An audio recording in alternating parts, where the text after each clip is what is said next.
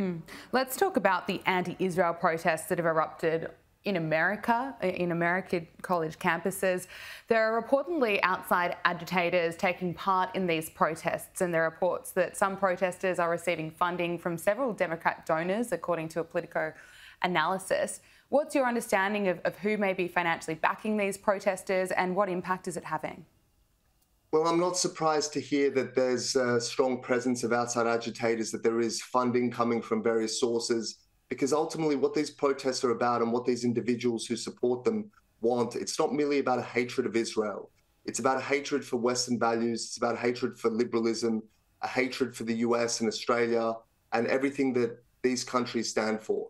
And so, no doubt, those in a position of power and with means will see this as an opportunity to infiltrate these movements to make them more aggressive, more violent, more extreme in order to pursue their ideology and their agenda.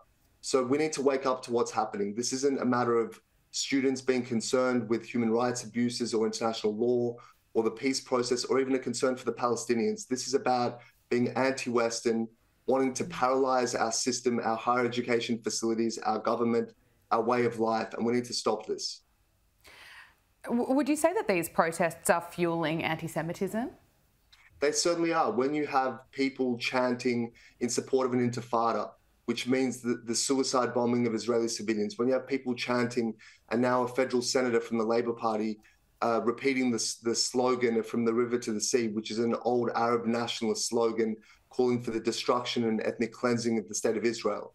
When you have these sorts of things happening, it inflames tension, and you see it transmit to social media, where the tone and the tenor of discourse and commentary has become so nakedly and openly and unashamedly anti Semitic.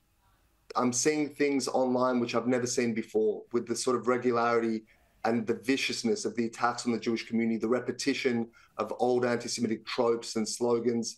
And this is all linked to a lack of leadership and what's happening in the public domain. It then flows into every aspect of our society. And if we don't stop it at the top, things will get worse and worse. And we're already seeing alleged terror plots against our community in Australia and around the world. And I fear what will happen if we don't step back from this chasm. Mm.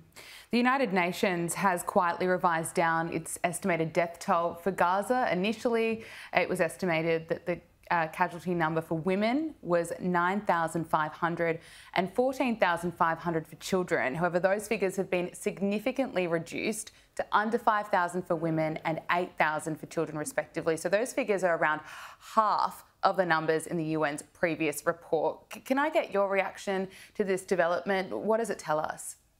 Well, look, from the beginning of the war, many media outlets have been uncritically quoting Hamas statistics for casualties, statistics which are obviously inflated for their own political purposes, statistics which draw no distinction between militants, terrorists, and civilians.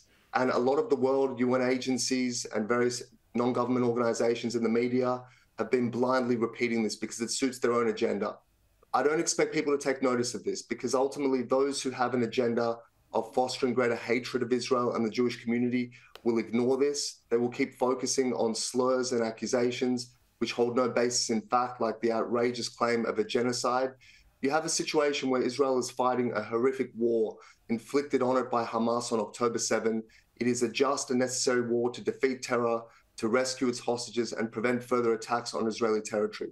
When you compare it, for example, with other wars in recent years, in the Syrian civil war, you had 600,000 people dead, 600,000.